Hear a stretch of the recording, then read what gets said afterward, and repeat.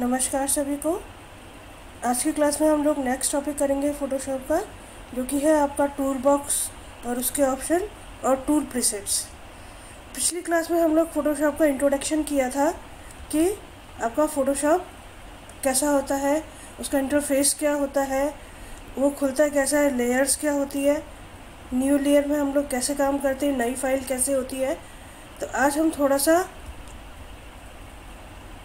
और एडवांस करेंगे।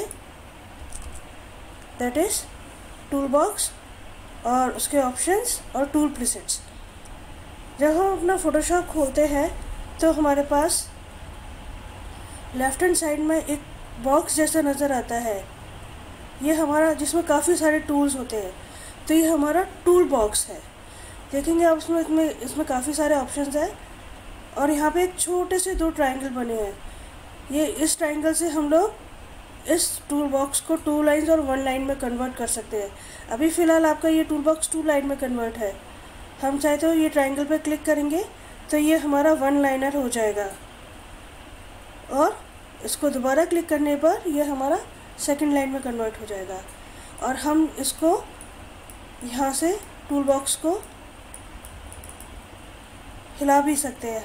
आपको जहाँ पे भी सहूलियत लगे अपने अकॉर्डिंग आप इसको अपनी टूल बॉक्स को रख सकते हैं।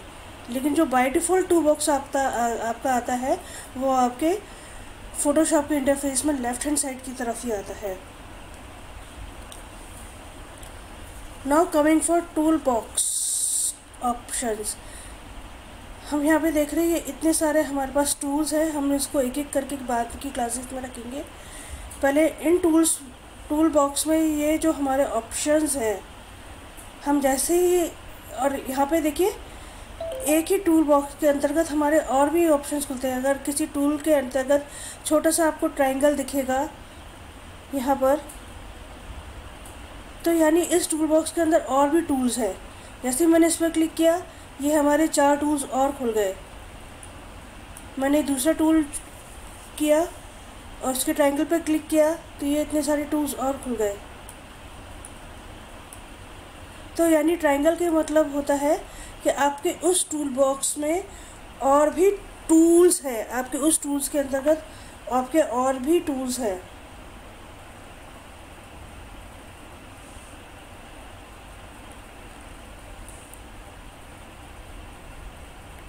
जैसे हम किसी टूल पे क्लिक करते हैं तो ये हमारा जो फ़ाइल मेन्यू है, इसके नीचे हमारा, इसके टूल बॉक्स के ऑप्शंस खुल जाते हैं। कैसे?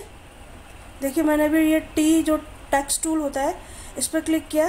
तो टेक्स्ट टूल से रिलेटेड आपके जितने ऑप्शंस हैं, यानी आपको कौन सा फ़ॉन्ट यूज़ करना है, आपको कौन सा टेक्स्ट यूज़ करना है टेक्स्ट की साइज़ क्या होगी, उसका अलाइनमेंट क्या होगा, उसके सारे ऑप्शंस आपके यहाँ खुल जाएँगे।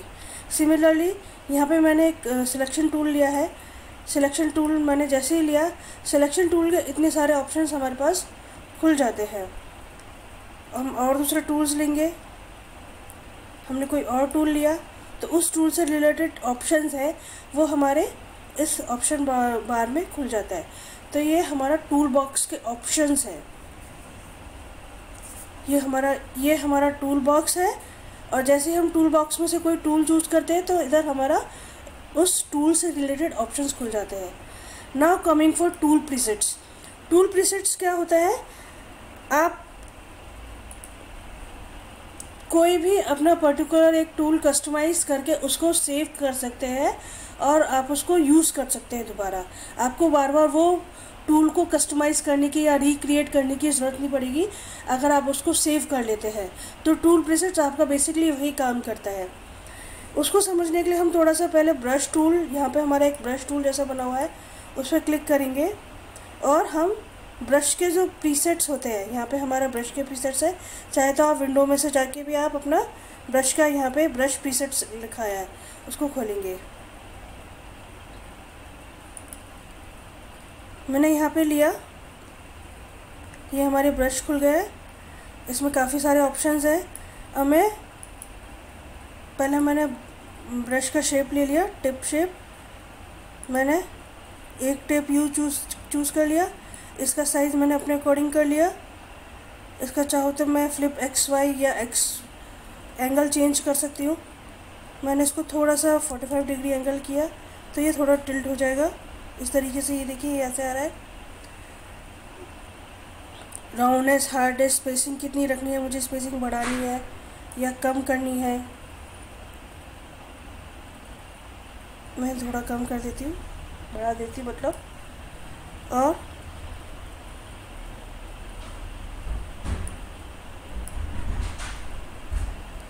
मैंने इसके साथ एक और बक्स ब्रश चूज़ कर लिया। मैंने ये वाला, अब की बार ये वाला चूज़ किया। इसका साइज़ भी मैंने थोड़ा सा बढ़ा दिया।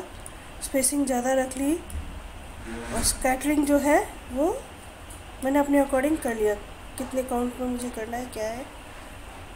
ये मैंने चूज़ कर लिया। अब यहाँ पे मैं, मैंने कलर भी दे दिया। अब मैं इसको जैसे यूज़ करूँगी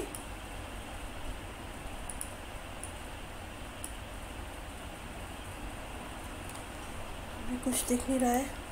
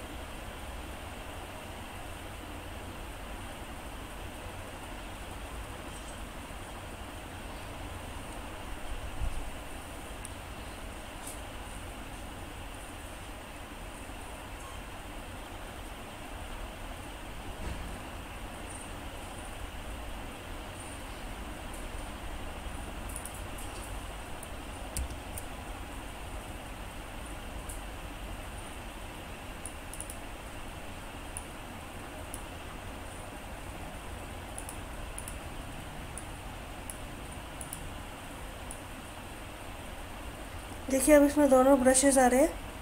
हम इसको थोड़ा सा जूम करके देखेंगे। तो हमारे पास ये दोनों ब्रशेस आ रहे हैं। डुअल ब्रशेस हो गया। अब मैं इसका टूल प्रेसेस में कैसे सेव करूँगी? यहाँ पे हमने जो ब्रश टूल यूज़ किया है तो यहाँ पे एक ब्रश का साइन आ रहा है और इसके पास में एक छोटा सा ट्रायंगल है। उस पर क्लिक करेंगे। ये देखिए, हमारे जो हमारे ब्रश के प्रीसेट्स है, जो कि ऑलरेडी है, वहाँ पे क्लिक है वो।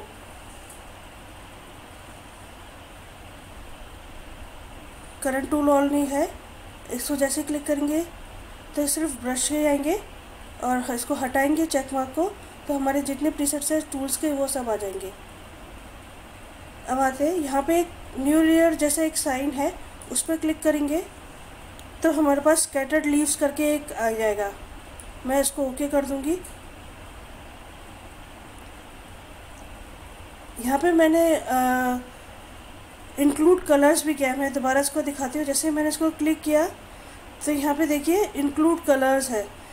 यानी अगर मैंने इसको येलो कलर चूज़ किया है इसका तो मैं जब इस टूल को यूज़ करूँगी तो ये येलो कलर को भी लेगा। ठीक है? तो हम आते हैं अब टूल प्रीसेट्स की तरफ़। ये हमारा टूल प्रीसेट्स खुला हुआ है। हम जहाँ नहीं खुला हुआ तो आप विंडो में जाके यहाँ पर टूल प्रीसेट्स को ओपन कर सकते हैं। टूल प्रीसेट्स को ओपन करते हैं हमारे पास यहाँ पे हमने करंट टूल ले रखा है अभी। तो यानी हमें, हमारा करंट टूल जो चूज़ है वो ब्रश टूल है। तो इसमें ये देखिए, ये आ गया brush tool scattered leaves one हम करंट टूल को चेक मार्क ऑफ़ करते हैं तो हमने जितने भी प्रीसेट्स बना रखे हैं, वो सारे आ जाएँगे। अभी मैं करंट टूल पे ही करती हूँ, क्योंकि हमें ब्रश टूल का ही करना है।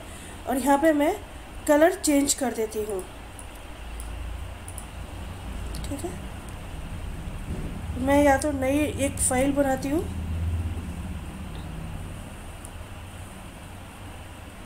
मैंने एक नई फ़ाइल ली। मैंने इसको कलर दिया। अब हम जाते हैं ब्रश टूल में। ब्रश टूल में जैसे हम लोग ये tool brush tool scatter leaves को क्लिक करेंगे, यहाँ से भी हम कर सकते हैं। ये दोनों तरफ़ टूल प्रीसेट्स में भी जाके भी और ब्रश का करके भी। जैसे इस पर क्लिक करेंगे, ये देखिए, यहाँ पे ये येलो कलर आ गया और जो हमने इसकी प्रॉपर्टीज़ दी थी, जिस, जो अपने हिसाब से कस्टमाइज़ किया था, इसका साइज़ इसकी स्कैटरिंग इसका स्पेसिंग वो आ गया। मैंने ऑल दो यहाँ पे अपना फोरग्राउंड कलर चेंज कर दिया था, लेकिन जैसे इस टूल का मैंने प्रेजेंट में से चूज़ किया इसने अपना कलर वापस वही रख लिया जो हमने इसको कलर दिया था प्रीसेट बनाते वक्त। तो टूल प्रीसेट बेसिकली आपका यही काम करता है, आप अपने हिसाब से टूल्स को कस्टमाइज़ करके आप उसको सेव कर सकते हैं और अगेन आप उसको यूज़ कर सकते हैं।